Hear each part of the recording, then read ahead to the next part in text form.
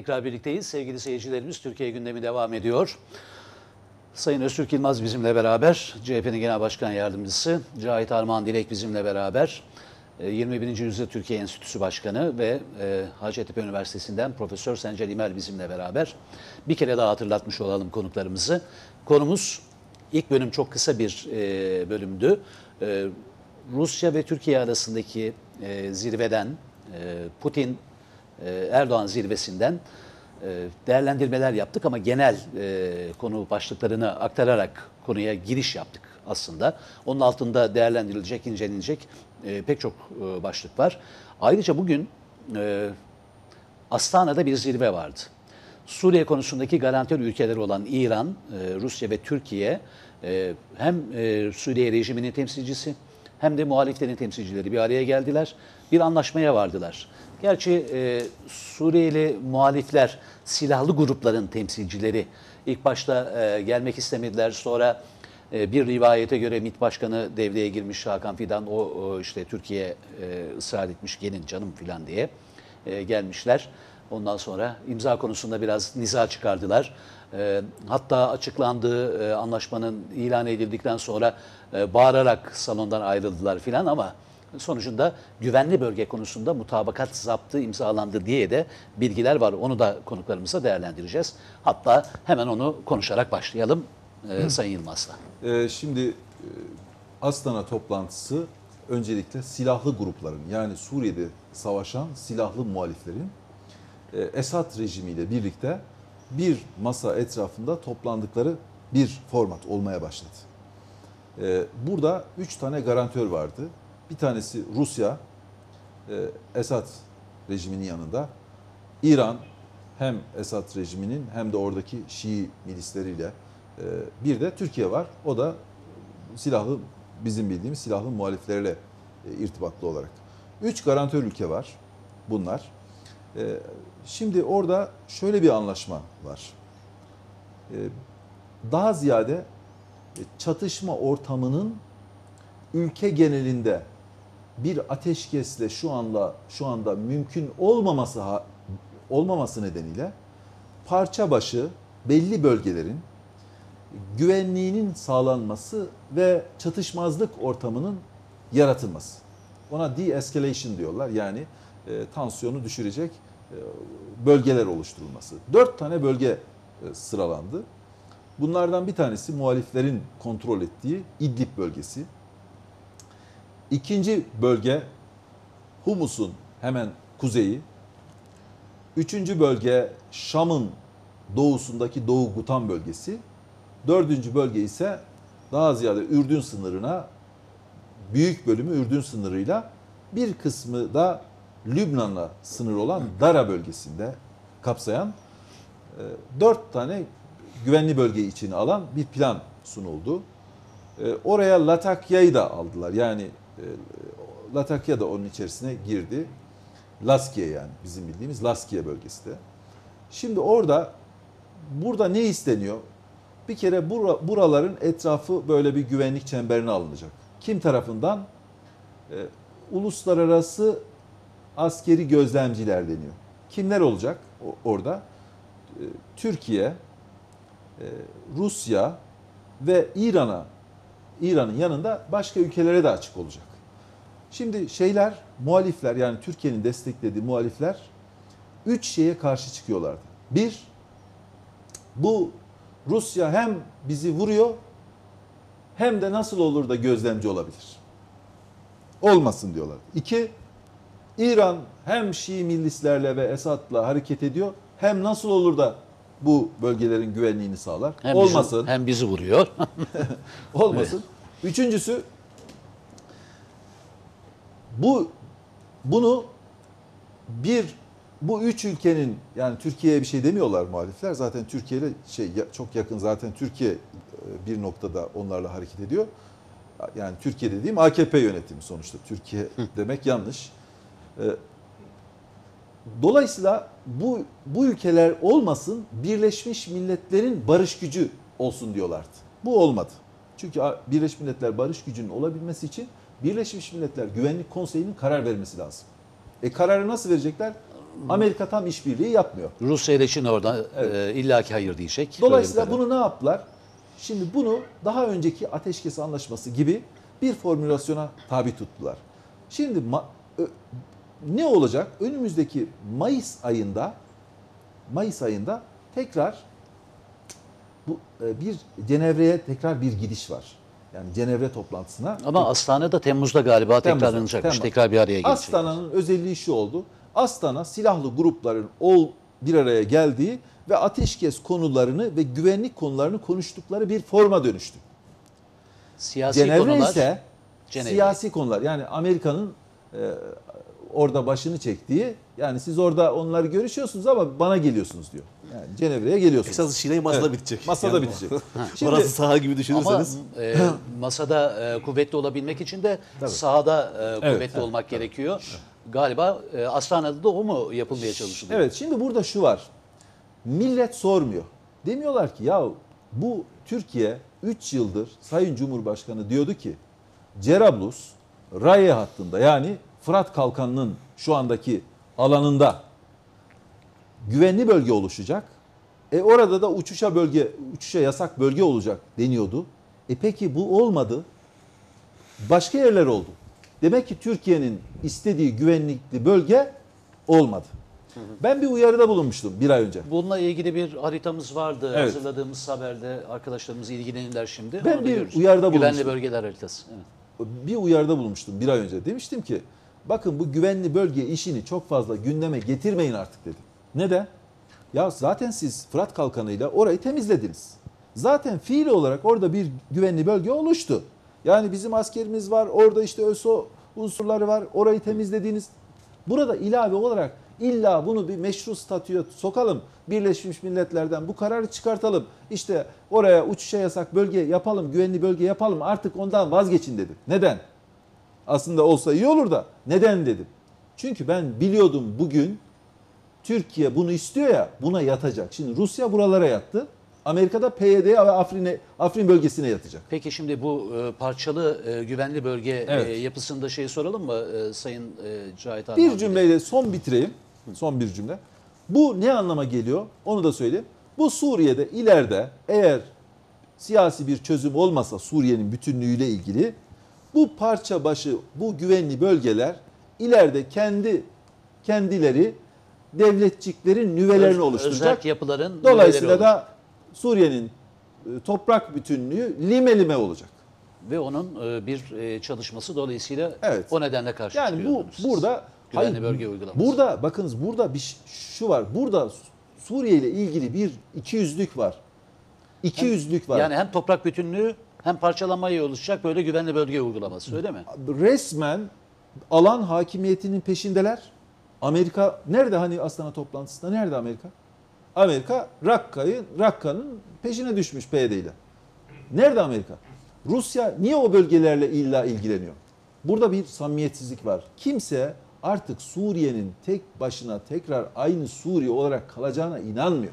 Dolayısıyla İnanmadığı için de Alan alan kazanmaya- kazanmaya, gayret ediyorlar. peki e, bu Türkiye'nin lehine mi aleyhine midir e, güvenli bölge uygulaması? Şimdi aynı e, Öztürk Bey'in söylediği gibi biz de defalarca e, yazılarda yazdık, televizyonlarda söyledik.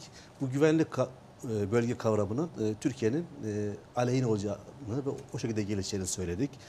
Daha sonra biliyorsunuz e, Trump işte seçim kampanyası zamanında ve seçildiği zaman hemen bu güvenli bölge konusunu tekrar gündeme getirdi.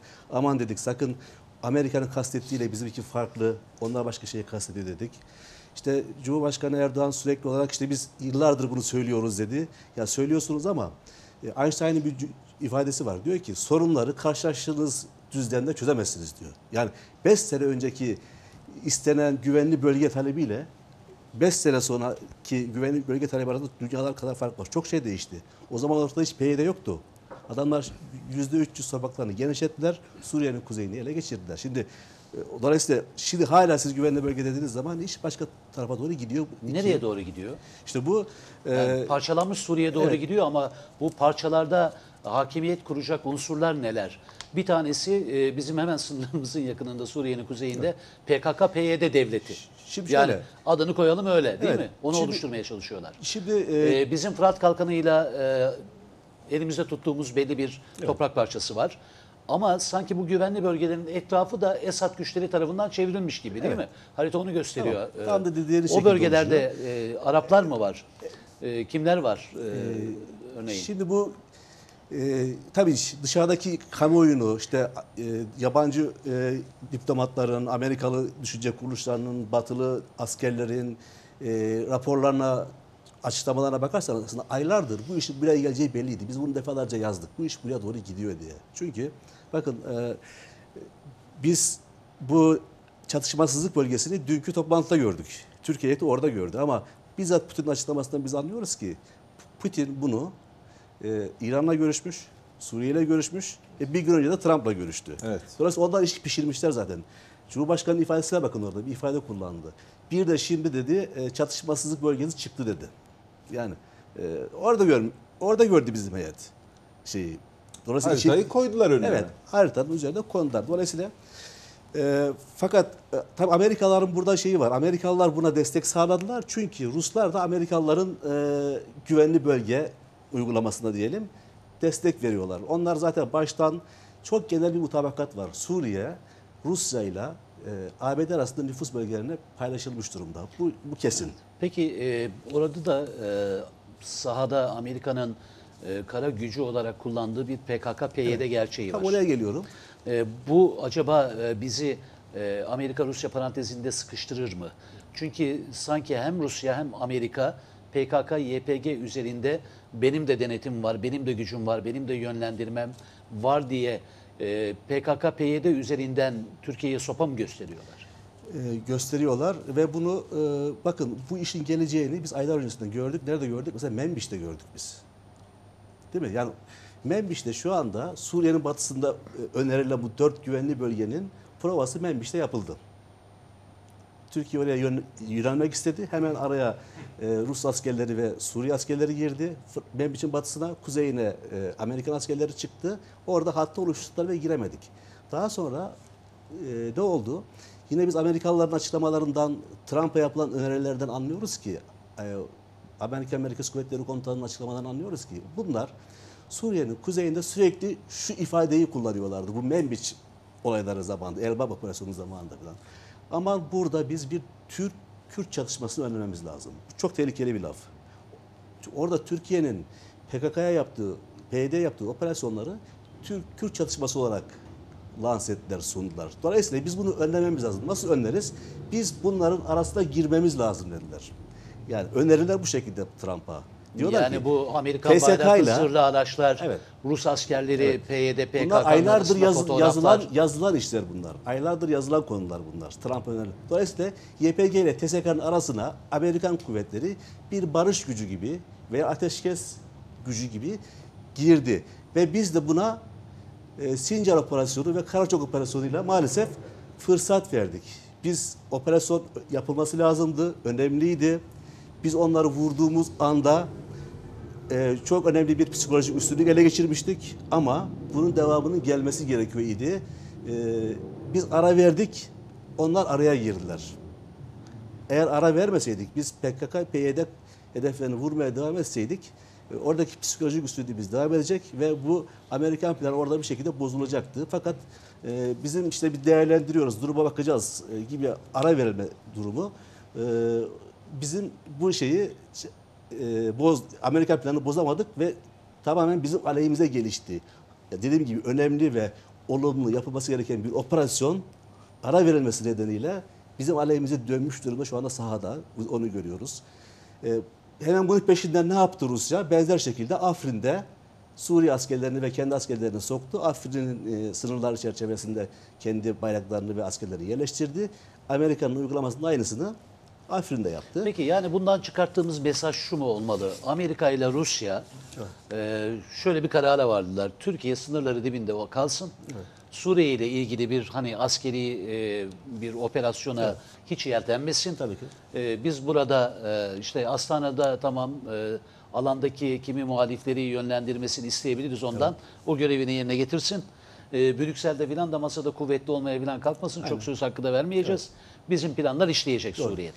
Evet dediğiniz doğru ve bu sınırlara işte Menbiçik sınırlarında, Afrin'in sınırlarında, şimdi İdlib'in e, o güney sınırlarında ve güneydoğu sınırlarında buralara ateşkes izleme güçlerini ve gözetleme güçlerini konuştuğunuz zaman bu nüfus alanları iyice keskinleşiyor, belirgenleşiyor. Artık Peki bu, bu Suriye'deki olayların somut sonuçlarından bir tanesi Irak'ın kuzeyinde olduğu gibi bir e, özel Kürt bölgesi diyelim hadi devleti demeye dilim varmadığı için oluşturmaya dönük hem Rusya'nın hem Amerika'nın rızası mı var?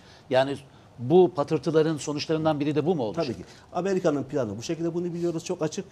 Rusya zaten önerdiği anayasa e, taslak metniyle bu niyetini bir şekilde ortaya göster koydu. Dolayısıyla orada genel bir mutabakat var. Yani onlar aslında kendi açılarından sahadaki gerçeği doğru okuyorlar. Diyorlar ki yani şimdi biz e, PYD'nin 3 senelik kazanımını geri çevirmemiz mümkün değil. Sonuçta belli bir hakimiyet kurdular. Dolayısıyla e, onlara belli hakların tanınması gerektiği konusunda kendi açılarından söylüyorum bunu. Bir e, bu gerçekliği tanıyorlar ve onlara e, bu hakkı verecek bir yapıyı oluşturmak istiyorlar. Bu da işte özellikle başlar. Bu sınırlar daha sonra gelişir. işte federal yapı oluşur. E, sonuçta e, önerilen metinlerde zaten bir gevşek federal yapı Federasyon. öneriliyor. E, sonuçta e, Irak örneği hemen yanımızda bir şekilde e, yaşanıyor. Benzer örnek Evet, Suriye'de yaşanacak Suriye'de diyorsunuz. yaşanacak. Peki Sayın Dilek teşekkür ederim. Ee, Sayın Sayın Calimer, e, Rusya, Türkiye, Erdoğan, Putin zirvesinden çıkan somut sonuçlarla beraber e, bu Suriye coğrafyasındaki son durumu da değerlendirir misiniz bize? Evet. Şimdi burada e, belki şu soruyu sormak lazım. Rusya ne yapmak istiyor? E, Amerika ne yapmak istiyor? İkisinin farklı olan taraflarını koyarsak ortaya anlaşılacaktır. Rusya e, bir noktada e, Akdeniz bölgesine inmek, hapsolmuş olduğu büyük bir kıt- kıta ülkesi ama denizlere çıkışı özellikle sınırlı. Baltık denizine çıkabilir. Almanya'dan orada ülkeler denizin olması. Karadeniz'e çıkar. Pasifik okyanusuna açılabilir, Kuzey Denizi'ne açılabilir. Ama Karadeniz'den, boğazlardan geçerek Akdeniz'e gelmesi lazım. Akdeniz e, hala önemli bir e, nüfuz bölgesidir. Her bakımdan. Buraya hakim olan dünya üzerinde söz sahibi olur. Çinler bile geldi, burada harekat yaptılar. Dolayısıyla Ruslar donanmayı boğazlardan geçirmek konusunda, e, Türkiye ile işbirliği yapmak konusunda e, Türkiye'ye bu ihtiyaçları var. Montreux Anlaşması'nın devamını istiyorlar. Amerikalılar da tersini istiyorlar. Onlar biz de oraya çıkalım, orada Rusya'yı biraz sıkıştıralım diyorlar. Yapmak istedikleri şeyler ters birbirine. Şimdi burada e, üs ele geçirmek, özellikle Sur- Suriye'deki üs ta Sovyetler döneminden beri kurulmuş olan bir üstür ve bu üs genişletilmiştir. Bu Rusya için hayati önem taşımaktadır. Akdeniz'de Hocam varlığını izin verir misiniz? Bir e, ufak teknik e, sıkıntımız var. Galiba mikrofonunuzla ilgili bir sorun var. Arkadaşımız hemen müdahale edecek. E, onu e, hallediverelim. E, şimdi e, bütün e, bu e, değerlendirmeler çerçevesinde Türkiye'nin bölgedeki en sıkıntılı ülke olduğu da e, bir gerçek olarak ortaya çıkıyor Doğru. değil mi? Yani e, Suriye coğrafyasında rahat hareket edemiyoruz. Barzani birden aşka geldi, bağımsız Kürdistan artık vakti geldi diyor. Hani e, bunu pek Irak hükümetine de sormayacağız, bölge ülkelerine hiç sormayacağız tavrı içinde. Suriye'nin kuzeyinde kantonların e, birleştirilmesiyle yine ortaya bir e, Suriye coğrafyası, Suriye devletinde e, bir gevşek federasyona gidildiğinde yine orada bir e, Irak'ın kuzeyi gibi bir Kürt devleti kuruluyor. Bunların daha sonra birleştirip birleştirilmeyeceği farklı bir proje olarak karşımıza çıkacak ama Evet. bakıldığında Irak sınırından Sencer Hocam Suriye sınırının tamamı da dikkate alındığında güneyimizde bir PKK gerçeği var. Şimdi şu- bir Kürt gerçeği var. Şimdi izin verirseniz e, herhalde arıza gideriyor Kaldığınız yerden buyurunuz. E, devam edeyim. E, dolayısıyla e, burada e, eğer öyle isterseniz Ruslar burada böyle bir üssü ta Sovyetler döneminden beri elde etmiş vaziyetteler ve bunu genişletmeye çalışıyorlar. Bir tanesi de Mısır'dır. Mısır da önemlidir onlar için ama orada öyle bir üsleri henüz yok. Planladıklarına eminim. Libya da bunlardan bir tanesidir. Akdeniz'deki üs açısından. Şimdi Suriye'deki üste Ruslar bir kere bunu tahkim ederek, Laskiye bölgesinden yukarı doğru giderek burayı kontrol altında tutmak istiyorlar ve üs olarak ele geçirmek istiyorlar. Başka bir mesele var. Bu da aynı derecede önemli Ruslar için. O da şu. Ee, bugün e, doğal gaz rezervlerine baktığımız zaman da birinci doğal gaz e, rezervi İran'da. Yüzde dünyadaki mevcut rezervin yüzde on sekizi. İkincisi e, Rusya'da yüzde on yedisi. Üçüncüsü yüzde on üçle Katar'da. Şimdi Katar bu gazı e, bulunmadığı konum itibariyle ancak sıvılaştırılmış gaz olarak satabiliyor. Tankerlere doldurup Sıvılaştırılmış gaz demek, LNG yani demek e, eksi 170 dereceye kadar e, gazı soğutacaksınız. 601'de küçük bir hacme indireceksiniz. Enerji harcayacaksınız. Normal boruyla taşılan gazın iki katı en az fiyata geliyor bu. Dolayısıyla bunu satarken tabii şeye Japonya'ya, Çin'e başka türlü satamaz ama bunu Avrupa'ya pekala boruyla satabilir. Ta rahmetli özel zamandan bir proje vardır. Bu proje şudur. Katar'dan bir boru hattı yukarı çıkacak. Suriye üzerinden Türkiye'ye gelecek. Türkiye ile bağlanacak. Bağlandıktan sonra Avrupa'ya gidecek. Bu olduğu takdirde Rusların eee Avrupa Birliği'nin gaz ihtiyacının üçte birini tedarik eden Rusya'nın ki Ukrayna üzerinden sağlıyordu. Ona iki tane alternatif yarattı. Bir tanesi Kuzey Akım. Almanya ile Rusya'yı bağladı. Bir tanesi de bir Türk tanesi akımı. de Türk akımı dediğimiz Güney Akım projesidir. Yani bu e, Ukrayna'nın başına bu olaylar gelmeden önce başladı. Demek ki Ukrayna'nın başına olayların geleceğini hesap ediyorlardı. Şimdi dolayısıyla bu hesap vardı. Dolayısıyla bunları dikkate aldığımızda bu Katar gazı eğer şeye giderse Avrupa'ya giderse Suriye bu, üzerinden e, geçip giderse Türkiye'ye gelip o zaman giderse. o zaman o zaman tabii Türkiye üzerinden boru hattı gidecek. Yani Suriye ve Türkiye üzerinden gidecek. Peki hocam şimdi burada ben bir parantez açı vereyim hemen de Evet. onu da anlatın diye söylüyorum. Suriye, e, İsrail gazını ne yapacağız? Aynı güzergahtan gelip Avrupa'ya O- gitmeye o, da, o, da, o da ayrı bir şey. O da Hani ayrı yani bir şey. Antalya'daki O- o- zirveye o gelen, da ayrı gelen bir şey. İsrail heyeti anlattı bunu ayrıntı. O henüz tabii tam e, o kadar kesin değil. Katar'ın gazı çok açık var hem de çok büyük çapta var. E, İsrail'inki o kadar çok büyük çapta olup olmadığı İşte bile Kıbrıs'tan da gazı tartışılmakta. Onu da söyleyeyim. Şimdi dolayısıyla bu e, güvenli olan bir mesele. Şu halde Katar gazı gittiği anda Rusya'nın enerji politikaları üzerinden Avrupa'yı kontrol etme imkanı elinden almış oluyor. Çünkü Putin'in uyguladığı siyaset, daha doğrusu Rusya'nın uyguladığı siyaset, enerji politikaları üzerinden Avrupa'yı kontrol altında tutma politikasıdır. Avrupa, Amerika da buna karşı başka önlemler geliştirmektedir. Dolayısıyla bu Katar gazının gitmesini Amerika da çok ister. Çok açık söyleyeyim. Rusya istemez. Dolayısıyla Suriye'de öyle bir rejim olmalı ki, öyle bir şey olmalı ki bu gaz oradan geçememeli. İşte El Nusra'yı Katar'ın destekleme sebebi budur. Başka bir sebebi yoktur. Yoksa niye El Nusra'yı destekliyorsunuz? Ne alakası var? Şimdi dolayısıyla bu gazı oradan geçirtmeyeceğiz. Geçirtmemek Rusya'nın ikinci hedefidir. Demek ki bir üssü korumak, iki gazı geçirtmemek. Şimdi bu gazı geçirtmemek için bir Esad'ın orada olması gerekli. Esad o zaman e, Rusya'nın vazgeçilmez bir partneridir. O halde Suriye'nin toprak bütünlüğü bir şekilde korunmalıdır ve bu korunurken de orada PYD gibi bugüne kadar esasen Kürtler diyelim PYD'yi bir kenara koyuyorum. Suriye Kürtleri diyelim nüfus kağıdı bile alamamış bir azınlık olarak yaşamış e, e, kendilerini ezildikleri şekilde e, düşünen bir grup. Bunlar PYD tabii bundan faydalanarak bir terör örgütüdür PYD. Açık konuşmalım. PKK'nın oradaki şeklidir. Bunu kullanarak orada bir güç elde ediyorlar. Amerikalılar buna destek veriyor. Çünkü bu unsuru kullanarak Suriye'nin bu bölünmesini sağlayıp parçalamak eğer öyle isterseniz gazı geçirmek Rusya'yı da kenara itmek istiyorlar. Rusya da bunu istemiyor. Demek ki Rusya üssü ele geçirmekle yetinmiyor.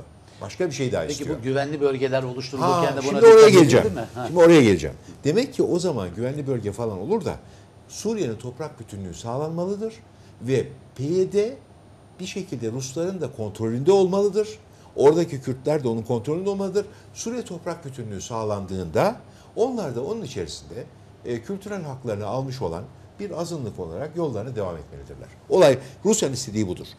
Rusya demek ki Suriye'nin toprak bütünlüğünü bu çerçevede en azından korumak istemektedir. Fakat Amerika bunu istememektedir. Çünkü bunu yap halledemediği zaman en azından bölgeleri parçalarsa oradan bu gazın geçeceği bir güzergah sağlar. İsrail de zaten parçalanmayı istemektedir. Niçin parçalanmayı istemektedir? Güvenliği açısından. Kendinden küçük büyük küçük parça devletçikler olsun diye. Irak için de bu geçerli. Demek ki burada Amerika ile İsrail'in çıkarları örtüşüyor. O zaman Trump'ın güvenli bölge lafı çok farklı bir güvenli bölge. Bizim güvenli bölge gene çok farklı bir bölge. Rusya'nınki de- Rusya'nınki de farklı. Dolayısıyla Rusya'nın PYD politikası. Yani herkesin kendine herkesin güvenli kendine. bölgesi. Şu halde biz Ruslarla anlaşabilir miyiz? Evet anlaşabiliriz. Anlaşabiliriz ve anlaşmak suretiyle Suriye'nin toprak bütünlüğünü sağlayabiliriz. Ne faydası olur bunun bize? O zaman bize şu faydası olur. PYD orada ortadan kalkar, etkisi kalkar. Oradaki bir Kürt grubun eğer öyle isterseniz azınlık haklarını almış yaşayan Suriye devleti içerisinde bizim Güneydoğu Anadolu bölgesindeki e, Kürt kökenli vatandaşlarımız gibi. Onlar da PKK'yı istemiyorlar. Biz haklarımızı almak istiyoruz diyorlar. Barış içinde yaşamak istiyoruz diyorlar. PKK ile onların menfaatleri örtüşmüyor. Onun için de dikkat ederseniz oy vermiyorlar. Mesela bir HDP gerçeğiyle bir PKK'yı karıştırmamak lazım birbirine. İkisi farklı şeyler. Birbirlerine zıttırlar hatta belli noktalarda. Şimdi böyle baktığınız zaman da burada çok ince ve hassas bir politika güdülmektedir. Bu ince ve hassas politika içerisinde Türkiye bir, PYD'nin Türkiye için bir tehdit olmaktan çıkarılmasını amaçlamalıktadır ve bunu Rusya ile yapabilir. Amerika'ya da dur bakalım der. Ben kendi çıkarlarımı burada savunuyorum. Onların da Suriye içerisinde e, entegre olmalarını sağlayabiliriz. Aynen Türkiye'de zaten öyle bir sorun yok. Eğer öyle isterseniz. Dolayısıyla böylece terör tehdidinden kurtulur. Aynı zamanda insan akımından da kurtulur. Yani mülteci akınından. Bu Almanya'nın da Avrupa'nın da istediğidir. Onun için dikkat ederseniz geçen hafta Bayan Merkel Soçi'de Putin'le görüştü. Konuşulan konulardan birisi buydu. Çünkü Putin'in, e, Bayan Merkel'in en önemli hedefi Suriye'de mülteci akının durması, hadisenin kökünden çözülmesi. Yani iç savaşın sona ermesi. Evet, bü- bütün birbirine böyle Olaylar birbirine bağlı. Ee, Demek ki biz o zaman Avrupa'nın talebiyle, özellikle Almanya'nın önünü çektiği e, hedefle, Rusya'nınkiyle, Suriye ile beraber hareket etmeliyiz ve Suriye rejimiyle de mutlaka irtibat kurmamız gerekmektedir. Buradan çok açık çıkıyor. İsrail'in güvencesi, yani e, ne diyelim güvenlik gerekçesini de tatmin edecek şeyler söylemek ve yapmak lazım. Böyle yaparsak Amerikalıları durdurabiliriz. Amerikalılar da burada üstlerini ele geçirmek istiyorlarsa Suriye rejimiyle konuşarak o üstleri tutabilirler. Türkiye'de de üstleri var. Bizimle konuşarak kurdular. Biz oradaki üstlerine Amerikalılara bir şey demeyiz. O bizi ilgilendirmez zaten. Onlar oradaki üssü niye ihtiyaçları? O ayrı. Bölgeyi kontrol etmek için var.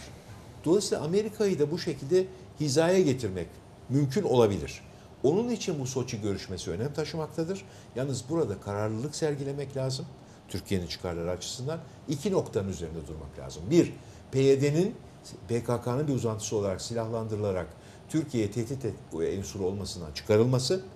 Bu konuda Amerika'nın gereğini yapması. İki, iki e, mülteci akınının durması. Türkiye'nin böylece mültecilerden kurtulması. Evet. Bu çok önemli. e, Avrupa Birliği ile ilişkileri de değineceğiz. O başlıkta bu Evet. e, mülteci sorunu e, Evet. başat e, Evet. şeyler e, rollerden bir tanesi gibi görünüyor. E, Sayın Yılmaz şimdi Amerika seyahati var e, Erdoğan'ın 16'sında. Onun öncesinde e, Suriye coğrafyasındaki bu hareketlilik, e, Putin e, Erdoğan görüşmesi, e, bütün bunlar oraya taşınır mı? E, ve giderken Erdoğan e, çantasında neler e, olacak Amerika'dan istekler anlamında? PYD, PKK, Suriye'deki, Amerika'daki, Pensilvanya'daki FETÖ bu mu? Şimdi Rahmi Bey e, birkaç e, konuya değinmek istiyorum müsaade ederseniz. Buyur. Bir kere Rusya Rusya'nın davranışı Amerika gibi değil. Rusya çok oportunist bir ülke. E, Rus Rusların bir sözü vardır. Daverity no praverity derler. Yani güven ama kontrol et derler. Bütün onların zihinsel yapısı bu. Şimdi Rusya'nın kendi yakın coğrafyasında, periferide e, ki operasyonlarına baktığınız zaman e, Rusya çok güçlü. Mesela işte Abkazya'yı, Osetya'yı alabiliyor. E, Doğu e, Ukrayna'nın doğusunda Donetsk bölgesini işgal edebiliyor. Kırım'ı E. Kırım'ı ilhak edebiliyor. E, Baltık ülkelerini tehdit edebiliyor ve hepsinde başarılı oluyor. Demek ki Rusya yakın coğrafyasında çok Etkili. hakim ve etkili. Rusya uzak coğrafyada özellikle birkaç örnek vereceğim somut. Rusya uzak coğrafyada kriz durumundan yararlanarak acayip oportunist yaklaşıyor. Yani böyle bir koyup on almak istiyor. Saddam'ın en zayıf olduğu dönemde gidip Saddam'la anlaşmalar yaptı. Amerika Saddam'ı devirdiği gün Rusya kaybetti. Kaddafi ile bir sürü anlaşma yaptı Evet. ve Kaddafi sokağın ortasında kafası ezilerek öldürüldüğü gün Rusya orada bitti. Mübarek'le de yaptı. Mübarek de yaptı. Mübarek de devrildiği gün Rusya'nın çıkarları orada bitti. Esad bakınız çok kritik bir şey söylüyorum. Aynı şeyi Esad'la yapıyor oportunist. Yani iki tane askeri üs alıyor. Humus'ta, Hama'da, Şam'da askeri birlik bulunduruyor. Havayı kontrol ediyor. hava savunma sistemlerini şey yapıyor. Şu anda Suriye Suriye'yi Rusya yönetiyor. Doğru. Amma ve lakin. Aynı ve ilk defa hocamın da söylediği ilk defa Akdeniz'e bir bir plan çerçevesinde inebildi. Ama korkarım Rusya aynı akıbetle karşılaşacak. Yani orada bir şekilde oradan o bölgeden itilecek. Bakınız nereden anlıyoruz? Ben size çok açık söyleyeyim. İran'la Rusya'nın davranış şekilleri farklı. Doğru. Suriye'de İran kalıcı davranıyor. Daha fazla kalıcı davranıyor. Yani orada rejimi tutmak istiyor, her şeyini feda ediyor.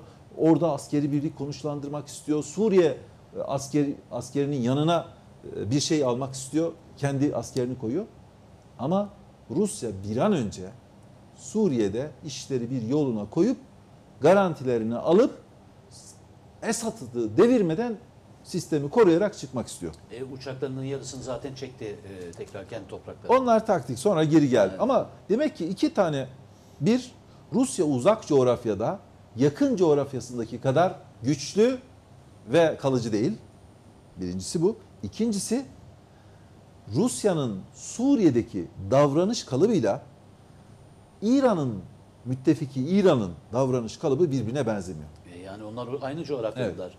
Rusya taşıma. Evet. Şimdi dolayısıyla gelelim Putin e, e, Putin'le olan görüşmede e, esasen bizim bütün bu Rusya'nın bu davranış kalıbı araziye yansıyor.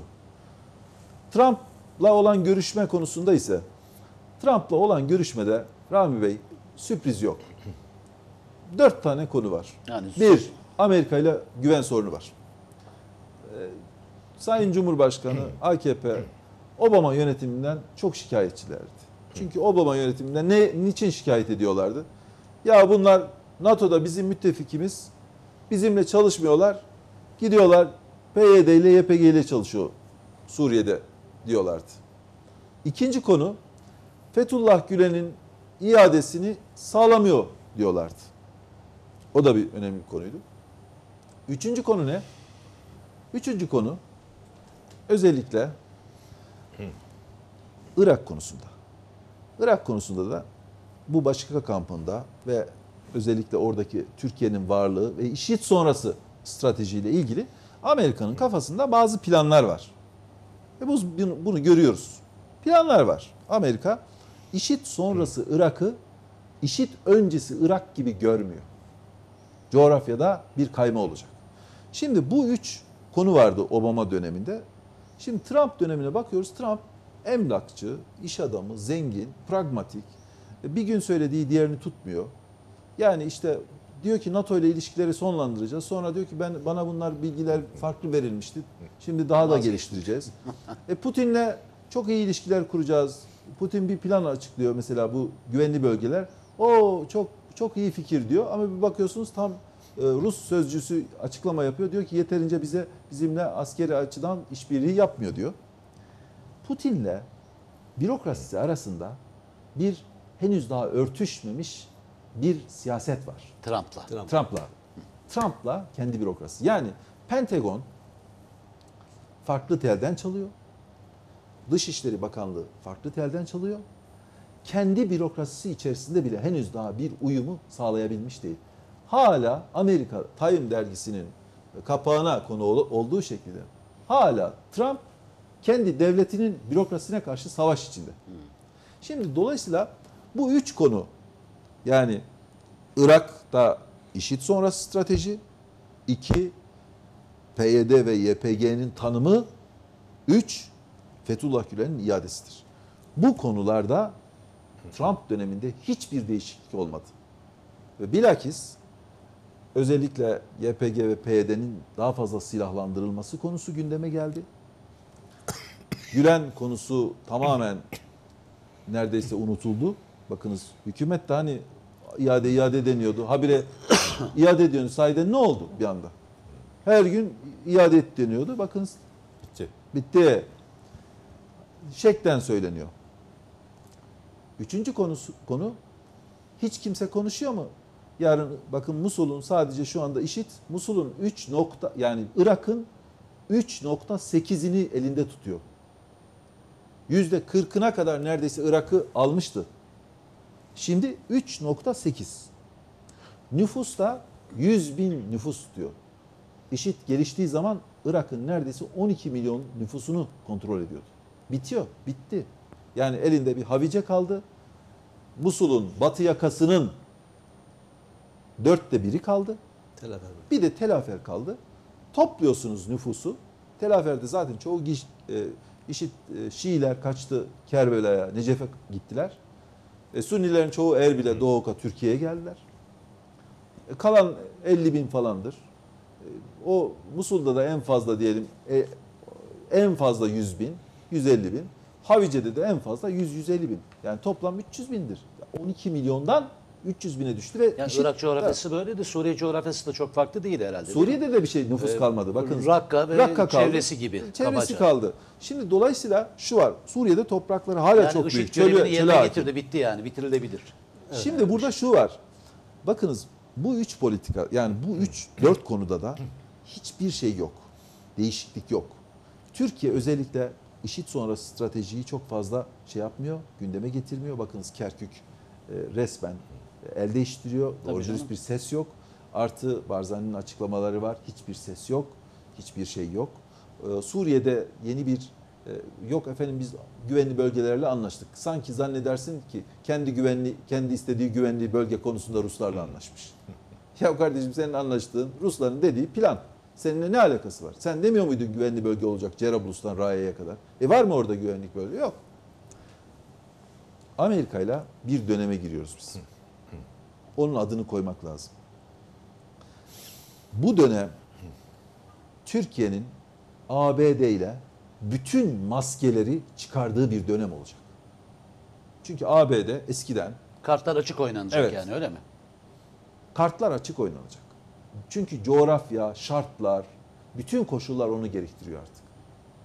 Yani Amerika çok radikalleşti. Ve Trump'ın üslubu gereği ince diplomasi de olmayacak anlaşılıyor. Amerika'nın bu zamana kadar stratejisine bakıyoruz.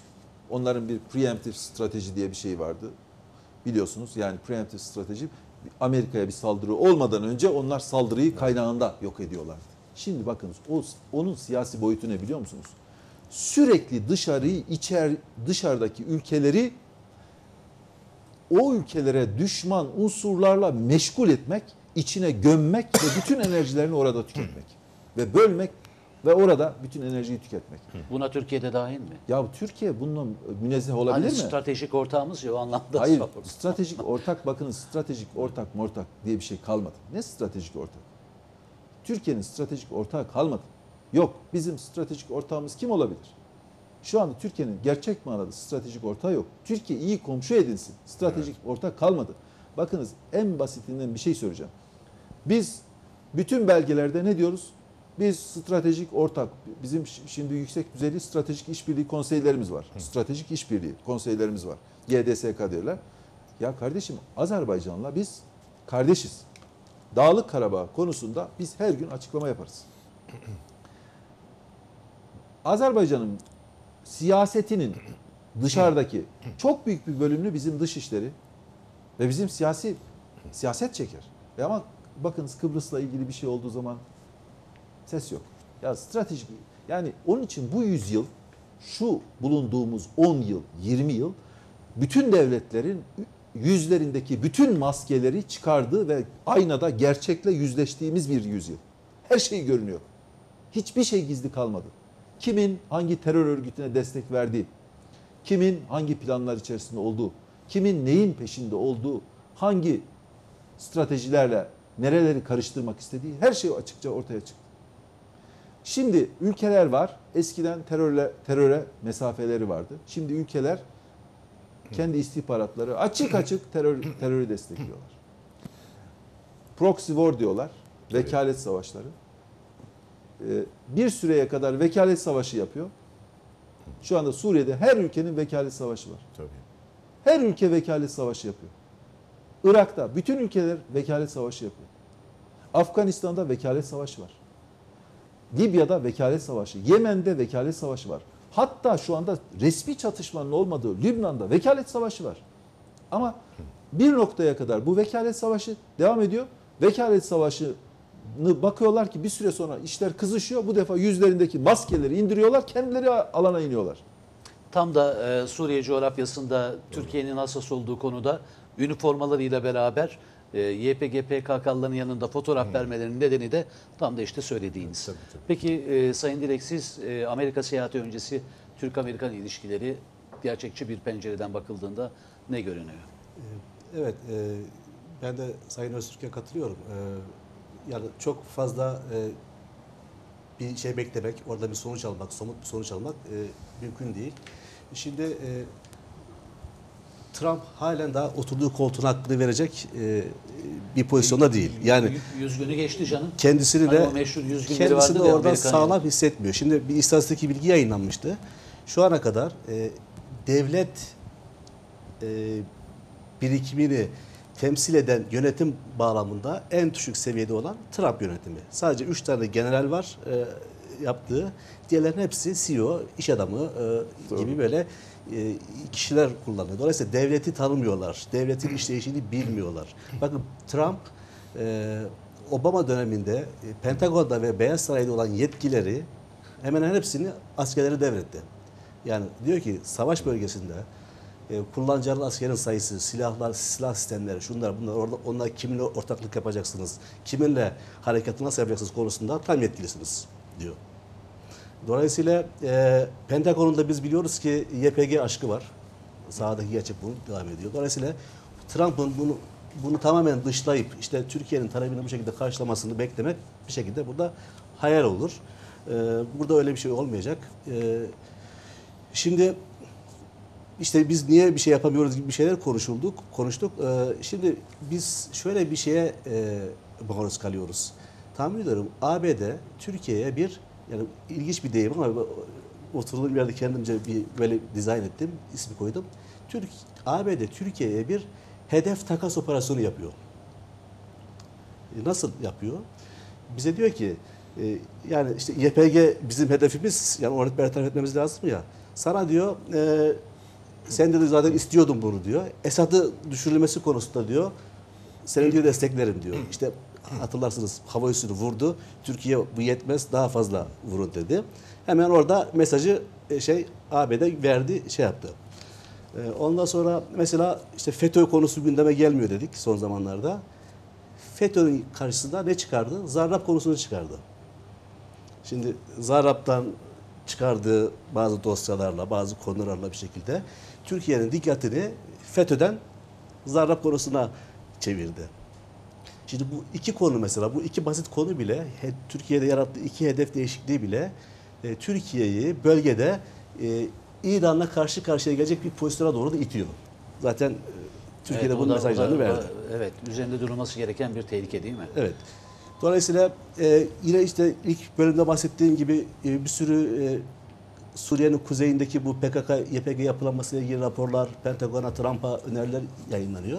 Mesela son bir haftada e, Uluslararası Kriz Grubu 3 tane rapor yayınladı PKK ile ilgili. Bir tanesi bugün gördüm, biraz önce gördüm. Hala e, artık o kadar net söylüyorlar ki. Biliyorsunuz ilk raporda şey söylemişti bu bir hafta önce çıkardı. İşte Suriye'nin kuzeyindeki YPG PKK'nın bir koludur demişti. Haber oldu bizde biliyorsunuz. Daha sonra ikinci bir rapor çıkardı. İşte Nusaybin'de PKK ya operasyonlara karşı yapılan operasyonlar devlet haksızdı, haklıydı falan gibi Türkiye'yi suçlayan bir rapor yayınladı. Bu son raporda yine e, diyor ki e, işte Amerika'nın YPG'ye ihtiyacı vardır. Ama diyor PKK diyor bu oradaki ortamı diyor e, bu yönde diyor geliştirmesi lazım. İşte e, YPG'nin Türkiye'nin içindeki saldırıları desteklemesini engellemesi lazım. PKK Türkiye'nin içinde terör saldırılarını azaltması lazım. Böylece Türkiye üzerindeki baskı azalsın ki YPG'nin varlığını veya ABD ile birlikte ortak operasyon yapması konusunu genişletsin. E, ona Türkiye razı olsun diyor. Böyle önerileri var. Ve e, bir şekilde e, orada diyor öyle bir yönetim oluştursun ki PKK diyor. Destek versin diyor. Afrin'le işte Fırat'ın batısıyla doğusunu birleştirsin. Orada işte PKK'ya bağlı olmayan Kürt gruplar var biliyorsunuz. Kürt partiler var. Bunları dahil etsin. İşte Kürt olmayan gruplar var. Bunları da diyor yönetime dahil ederek orada e, sanki YPG'nin etkisi azmış gibi bir bölge yönetimi oluştursun diyor. Böylece diyor bu sulandırılır diyor, sulandırılmış olur diyor ve e, Türkiye'nin de diyor tepkisi diyor azaltılmış olur diyor. Şimdi böyle böyle öneriler var. Dolayısıyla iş buraya doğru gidiyor. Siz bunu kabul ettiğiniz zaman yani bak burada YPG'nin etkisi azaldı, işte diğer gruplar da yönetime katıldı. Burada bir Kuzey Suriye Federasyonu oluştu. İşte Araplar da var. İşte bu Fırat Kalkanı Harekatı bölgesindeki bölgede bilmem ne adıyla o, o federasyona katıldı. Düşünebiliyor musunuz? Türkiye'de bunu sahiplendi, kabullendi. Otomatikman YPG'yi kabullenmiş, BD'yi kabullenmiş oluyorsunuz. Bunun bir sonraki adımı da Türkiye'deki PKK'yla e, Masaya oturmak. masaya oturmaktır. Peki, e, bu e, değerlendirme gerçekten sert değerlendirme oldu. E, burada bir nokta koyalım. E, yine bir e, reklam aramız var. Sonrasında saat başında tekrar sizlerle birlikte olacağız. E, bir e, Sencer Hocama şeyi soralım. E, 18-19 adamıza e, Yunanistan amiyane tabirle çöktü. Milli Savunma Bakanı'ndan, e, AKP hükümetinden tık yok. 8 tane FETÖ'cüyü vermiyoruz dediler. İlişkilerimiz bozulur dedi. Hemen e, bakan ayağa kalkıp bir onu soralım bir de AB'nin Türkiye'ye dönük iki yüzlü tavrını bundan sonraki bölümde birlikte olacağız.